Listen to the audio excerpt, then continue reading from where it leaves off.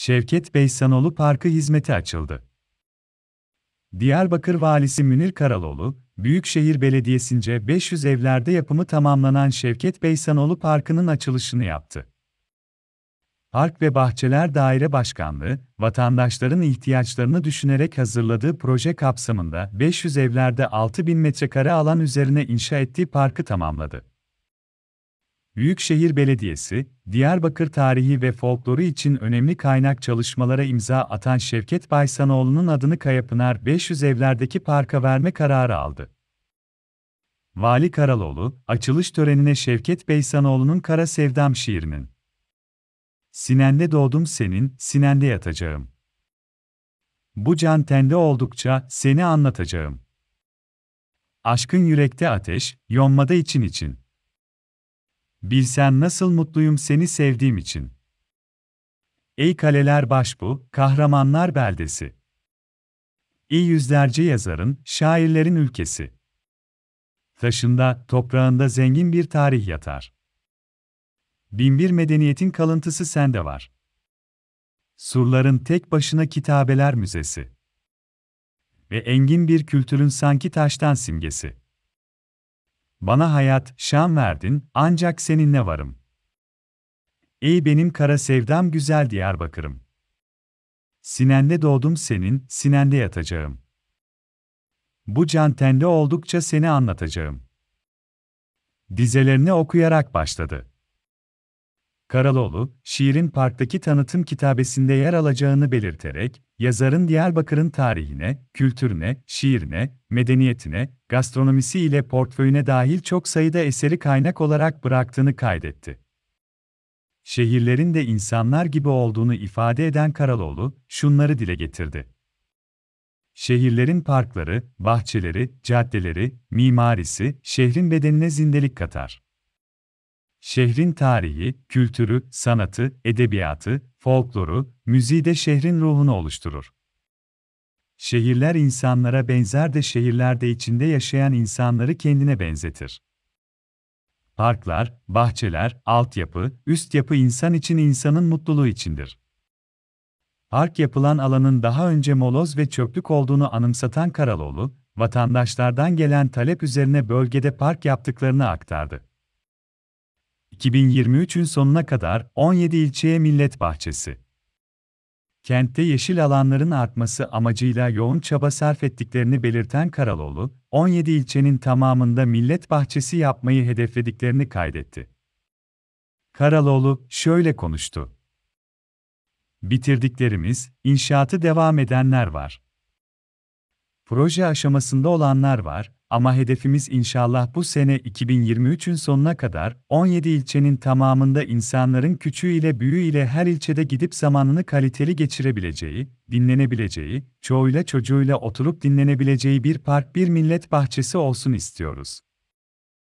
Bütün hedefimiz daha yeşil bir Diyarbakır ortaya çıkarmak. Kente ilk gelenlerin caddelerde, refüjlerde, yeşilliklerdeki tertibe şaşırdığını ifade eden Karaloğlu, konuşmasını şöyle sonlandırıldı. Bütün hedefimiz daha yeşil bir Diyarbakır ortaya çıkarmak. Biz istiyoruz ki, Diyarbakır'la Diyarbakır'da yaşayanlar özdeşsinler birbirine benzesinler.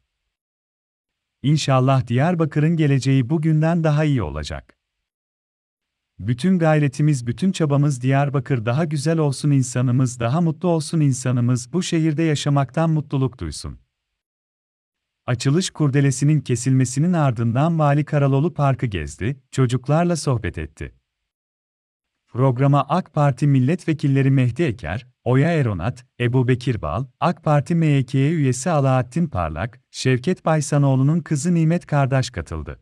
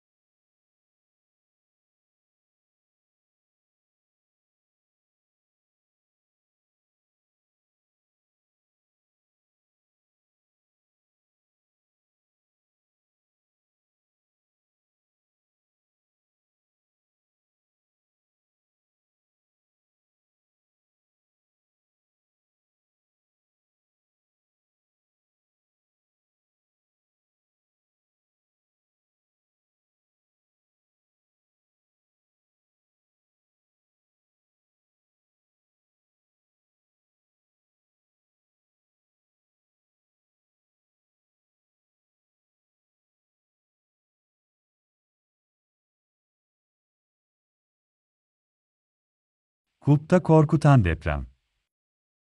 Merkez üssü Kulp ilçesine bağlı Ağıllı mahallesinde 3.4 büyüklüğünde bir deprem meydana geldi. Deprem Kulp ilçesinde de hissedildi. İçişleri Bakanlığı Afet ve Acil Durum Yönetim Başkanlığı Deprem Daire Başkanlığı tarafından yapılan duyuruda, bugün saat 12.03 sıralarında merkez üssü Ağıllı mahallesinde 3.4 büyüklüğünde bir deprem meydana geldi. Deprem Kulp ilçesinde de hissedildi.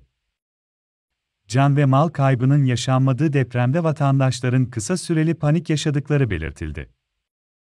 Pasur Belediyespor, öğretmenler Ayspor'a gol yağdırdı, 5-1.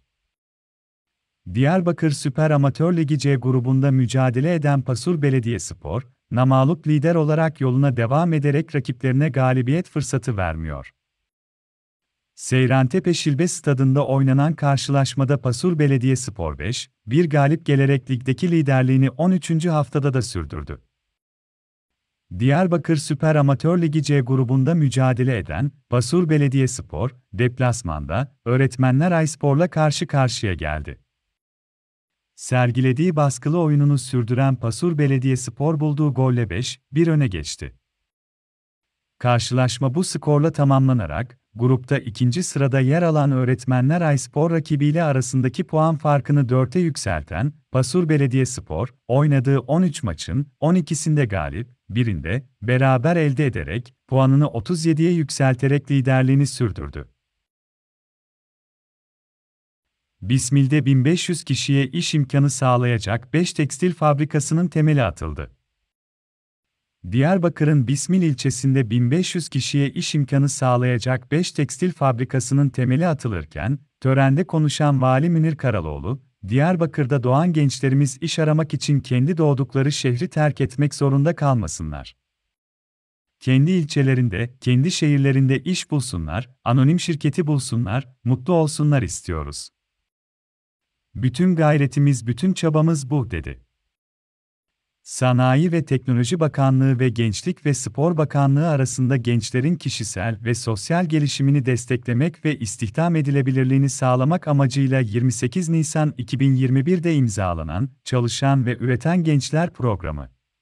Protokolü çerçevesinde Diyarbakır'ın Bismil ilçesinde Bismil'de 1500 kişiye iş imkanı sağlayacak 5 tekstil fabrikasının temel atma töreni yapıldı.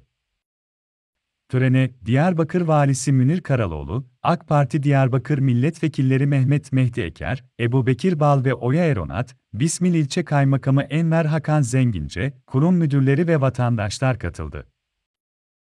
Temel atma töreninde konuşan Vali Münir Karaloğlu, Bismil, Çermik, Ergani ve Tekstil OSB'de 57 milyonluk bir projeyi gerçekleştirmek için eş zamanlı olarak çalışmalarının yürüttüklerini aktararak, temeli attığımız 16.500 metrekarelik 5 fabrikanın toplam yatırım bedelinin 32 milyon 500 bin liradır. Hedefimiz Diyarbakır'da doğan gençlerimize Diyarbakır'da iş imkanı oluşturmak.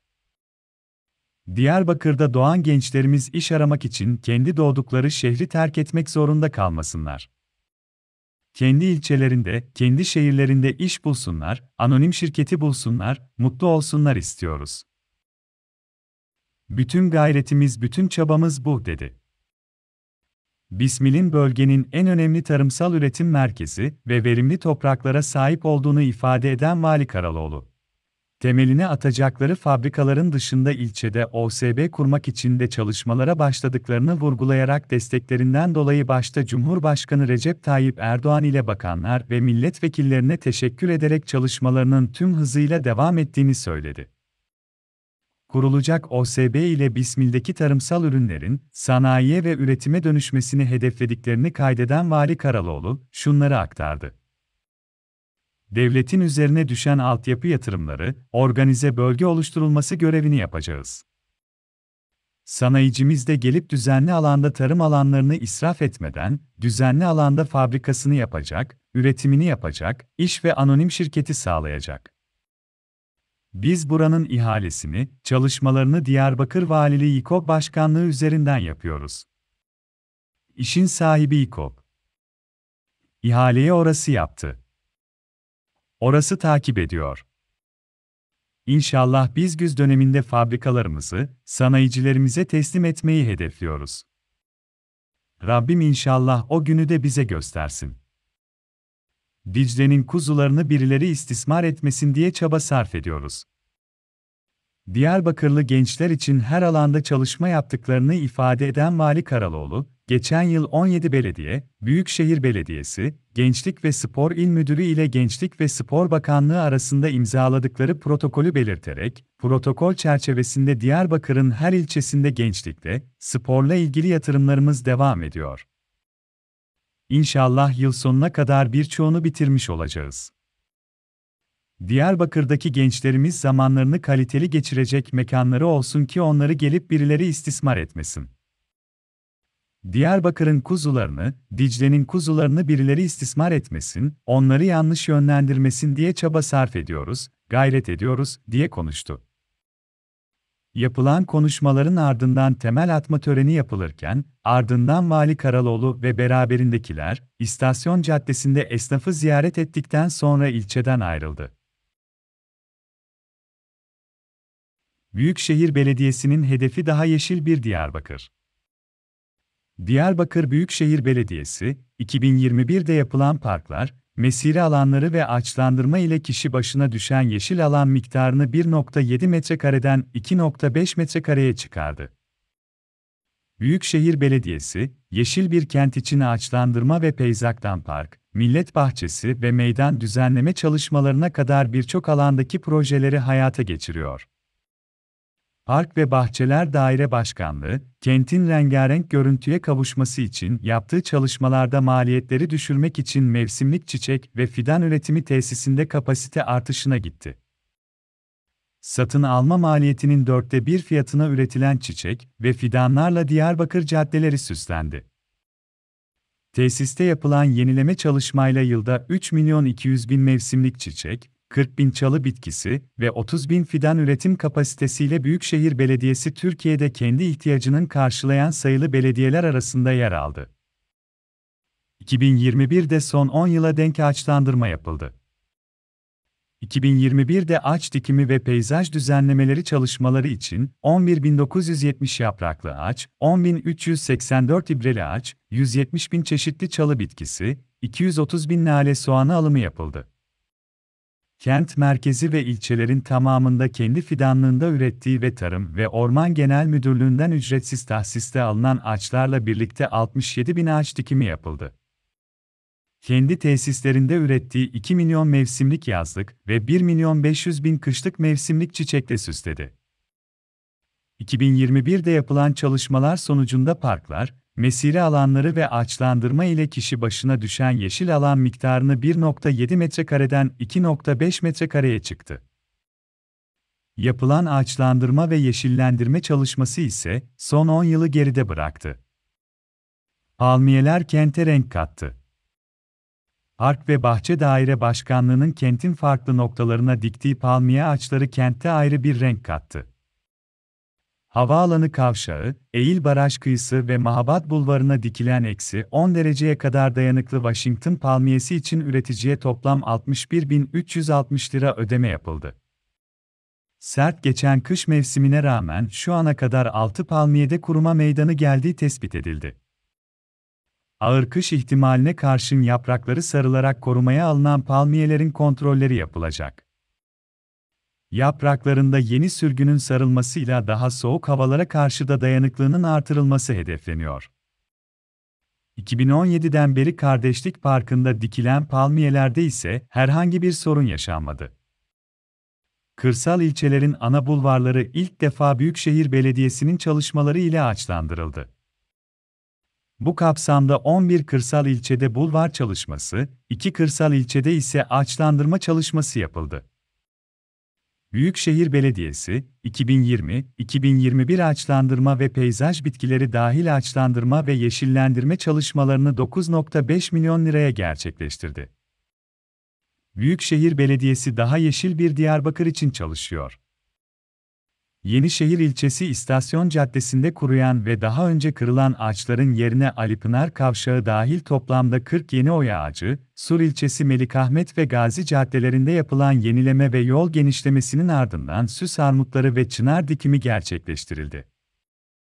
Mahabat Bulvarı'nda yenileme çalışmaları dolayısıyla 100 oya ağacı Mezopotamya Caddesi'ne dikildi, bu noktaya ayrıca caddenin daha yeşil olması için 520 oya ve 800 şekilli mavi selve ağacı dikimi yapıldı. Büyükşehir Belediyesi, daha fazla ağaç daha sağlıklı nefes mottosuyla çalışmalarına devam edecek. Diyarbakır'da 150 kanser hastası için etkinlik. Diyarbakır'da 8 Mart Kadınlar Günü'nü tedavi gören 150 kanser hastası kadın için etkinlik düzenleniyor. MEA Ajans ve Güzellik Atölyesi sponsorluğu ve Radisson Blu Otel işbirliğiyle 150 kanser hastası kadın için etkinlik düzenleniyor. Yeniden Yaşam Kanserle Mücadele Derneği'ne bağlı 150 kanser hastası kadını bir araya getirecek olan geceye İstanbul'da bulunan daha önce 62 il gezmiş tek kadın Esra Dağdelen davet edildi. Kadınlara moral ve motivasyon sağlaması açısından uzman psikologla söyleşi yapılacak. Sanatçılarında olacağı etkinlikte hayırseverlerden alınan hediye çekleri kadınlara hediye edilecek. Projeyi başından beri takip edip ve yürütülmesi için çalışma içinde olduklarını söyleyen Maya Ajans kurucusu ve koordinatörü Elif Yıldız, bu kez 8 Mart Dünya Kadınlar Günü kendileri için daha güzel, anlamlı ve güzel bir projeye imza atacaklarını ifade etti. Kadınların dernek aracılığı ile tespit edildiğini aktaran Yıldız, çünkü bu kadınlar derneğe üye ve maddi imkanları yetersiz olan, tedavi masrafları bile dernek üzerinden karşılanan, daha önce böyle bir organizasyona katılmamış kadınlar. Yukarıda bahsedilen organizasyon dışında kadınlar için bir de ajansım tarafından fotoğraf çekme alanı oluşturuyoruz. Özel bir günde özel bir alanda anı olarak fotoğrafları da olsun istedik. Bunun dışında güzellik atölyesi sahibi Özcan Yalın Kılıç ile birlikte zaman ayırıp hayırseverler ile görüşüp hediyeler aldık. Kadınlar ne kadar mutlu olursa biz de o kadar mutlu olacağız şeklinde konuştu. Diyarbakır'da feci zincirleme kaza, 1 ölü 4 yaralı. Diyarbakır'da feci zincirleme trafik kazası yaşandı, 1 ölü 4 yaralı. Kaza anı güvenlik kameralarına yansıdı. Olay, Diyarbakır, Şanlıurfa yolu Yeni Hal Kavşağı civarında meydana geldi. Edinilen bilgilere göre 34G, G, M60 plakalı Audi marka araç sürücüsü, Ö, 44B, C981 plakalı kamyonet ile çarpıştı. Çarpışmanın etkisiyle karşı şeride fırlayan iki araç sürücüsünden M, A, K olan 34B, F, Y448 plakalı Fiat Doblo marka ticari araç, sürücüsü C, A olan 34D, K 228 plakalı Skoda marka otomobil ve sürücüsü MB olan 21A, C, E906 plakalı Volvo marka araç ile çarpıştı. Toplamda 5 aracın karıştığı kazada biri ağır 5 kişi yaralandı. Çevredekilerin haber vermesi üzerine olay yerine çok sayıda 112 acil sağlık, itfaiye ekipleri ve güvenlik güçleri sevk edildi. Kazada yaralanan A, S, M, S, S, S, Ö, S, U ve Songül Öztekin ilk müdahale sonrası hastaneye kaldırıldı. Ağır yaralı olan Songül Öztekin, yapılan tüm müdahalelere rağmen kurtarılamayarak hayatını kaybetti. Olayla ilgili geniş çapta inceleme başlatılırken kaza anı güvenlik kameralarına yansıdı. Te yandan hurdalığa dönen cadde, araçların kaldırılmasıyla trafiğe tekrardan açıldı. Diyarbakır'ın altyapısını güçlendirmek için 16 büyük proje hayata geçirildi. Diyarbakır Büyükşehir Belediyesi Su ve Kanalizasyon İdaresi, DİSKİ Genel Müdürlüğü, kentin altyapısını güçlendirmek için 2021'de 16 büyük projeyi Diyarbakır'a kazandırdı. DİSKİ Genel Müdürü Fırat Tutşi, Diyarbakır genelinde 2021'de gerçekleştirdikleri ve 2022'de hayata geçirecekleri çalışmaları basın mensuplarıyla paylaştı. Bir otelde düzenlenen toplantıda konuşan Tutşi, Diski'nin 17 ilçedeki vatandaşlara toplam 1271 personel ve 293 araçla hizmet verdiğini söyledi. diski geleceği planlayarak çalışıyor. İçme ve kullanma suları için boru hatları döşediklerini ve kanalizasyon yolları inşa ettiklerini aktaran TUTŞİ, arıtma tesisleri, enerji üretim ve temin merkezleri, depolar, barajlarla bu yatırımların doğru yönetilmesi için yer üstünde teminine ve korunmasına çalıştıklarını vurguladı. TUTŞİ şöyle konuştu. Tüm su kaynaklarımızdan aldığımız suyu tesislerimizde arıtıyor, hemşehrilerimizin musluklarından temiz ve kesintisiz içme suyunun akmasını sağlıyoruz. Dünyanın ve Türkiye'nin insanlığa oranla kıt kaynakları arasında, toprağın bereketi, canlıların yaşam alanı, insanın özü ve olmazsa olmaz gereksinimi. Dolayısıyla böylesine hayati ve günlük bir ihtiyacın en sağlıklı şekilde karşılanması diskinin asli vazifesi. Ancak su meselesi yalnız günün değil, geleceğinde aynı derecede hayati meselesi. Son iki yılda yaptıkları tüm işlemlerle Diyarbakır'ın suyunu en doğru biçimde yönetilmesini sağlamak ve sürdürebilir bilinci oluşturmak gibi bir vizyonlarının olduğuna değinen Tutşi, bu bilinçle içme suyu şebekeleri döşediklerini, modern arıtma tesisleri inşa ettiklerini ve kanalizasyon sistemiyle kentin gözbebeği Dicle Nehri'ni temiz tutuklarını iletti. Su yönetimini düzgün bir zemine oturtmak istiyoruz. Sıcada projesiyle Diyarbakır'ın suyunu yönetmeyi ve kayıp kaçakla israfını önlemeyi amaçladıklarına dikkat çeken Tutşi, Diyarbakır'ın 50, hatta 100 yıllık su hazinesini yönetmek, düzgün dağıtmak ve sürdürülebilir bir zemine oturtmak amacıyla yatırımları hayata geçirdiklerini söyledi. Tutşi, konuşmasını şu ifadelerle sürdürdü. Devletimiz de, Diyarbakır'ımızın su kaynaklarını korumak ve geliştirmek adına yapımı bu yıl tamamlanacak Silvan Barajı başta olmak üzere, 7 barajı daha Diyarbakır'ın bugününe ve geleceğine armağan ediyor. Su hazinemiz, diskinin kaynakları, tüm bu yatırımlar, Diyarbakır'da yaşayan 1 milyon 800 bin insanın ortak kaynağı. Arıtma tesislerimiz, köylere açtığımız kuyularımız, mevcut altı barajımız. İnsanımızın ortak varlıkları. Ancak sadece bugün burada yaşayanların değil, bugün doğan ve yarın doğacak her bir hemşehrimizin de ortak varlıkları, geleceğin su teminatı. Abonelerimiz paydaşlarımızdır. Tutşi, su kaynaklarının yönetiminde her bir aboneyi paydaş olarak gördüklerini aktararak şöyle konuştu. Tamamlanan ve devam eden 550 milyon liralık yatırımlarımızla Diyarbakır'da suyun yönetimi için yeni bir bakış inşa ediyoruz. Her bir hemşehrimizin ortak paydaşlığında bugünün ve geleceğin su teminini garanti altına alıyoruz. Sayın Valizimiz Münir Karaloğlu başta olmak üzere tüm Diyarbakır'ımıza verdikleri önem ve destek için. Kurumum ve şahsım adına size teşekkür ediyorum. TÜŞİ, yaptığı açıklamaların ardından 2021'de merkez ilçelerden en ücra kırsal mahallelere hayata geçirdikleri projeleri paylaştı. Diyarbakır'da 2021'de 16 proje tamamlandı. Yaptığı sunumla hayata geçirdikleri projeleri detaylandıran TUTŞİ, merkez ve kırsal mahallelerde yaptıkları sondaj çalışmalarından, yeni terfi merkezlerine, kanalizasyon şebekelerinden, yeni su depolarına, yağmur suyu şebekelerinden, yeni içme suyu şebekelerine kadar 2021'de 16 büyük projeyi Diyarbakır'a kazandırdıklarını aktardı. Yaptığı sunuma abone sayısındaki artışa ve kaçak kullanıma yönelik Diyarbakır'ın dört bir yanında tarama çalışması yaptıklarına değinen Tutşi, son bir yılda 36.470 yeni aboneyle toplam sayıyı 445.511'e çıkardıklarını, Diyarbakır'da abonesiz ev, ticarethane kalmayana dek çalışmalarına devam edeceklerini kaydetti. 13 projemiz yapım aşamasında. İl genelinde diski öz kaynaklarıyla ve dış finansman desteğiyle yürüttükleri 13 projenin yapım aşamasında olduğunu duyuran TUTŞİ, içme suyu şebekeleri, kanalizasyon inşaları ve diğer altyapı çalışmalarının yanı sıra büyük projeleri hayata geçirmeye hazırlandıklarını aktardı.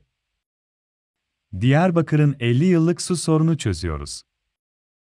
TUTŞİ, Bismil Atık Su Projesi'ni yıl içinde, Dicle Barajı ikinci aşama ısale hattı ve pompa istasyonunu ise Şubat 2023'te hayata geçireceklerinin müjdesini verdi. bu iki büyük projeyle Diyarbakır'ın su kirliliğinin önüne geçeceklerini ve Diyarbakır'ın 50 yıllık su sorununu çözeceklerini bildiren TUTŞİ, tamamlanan ve devam eden 550 milyon Türk lirası yatırımlarla Diyarbakır'da su yönetimi için yeni bir bakış açısı inşa edeceklerini ifade etti. Program, soruların cevaplandırılması ve toplu fotoğraf çekimiyle sona erdi.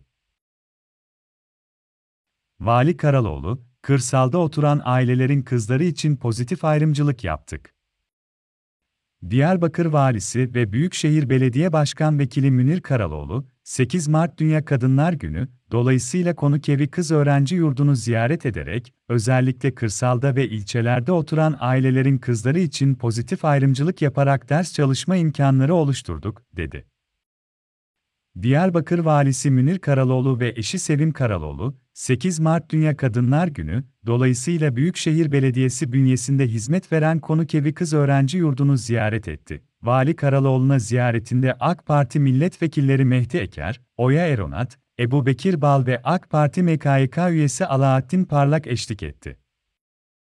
Karaloğlu, akşam yemeğinde bir araya geldiği öğrencilerle yakından ilgilenerek sohbet etti.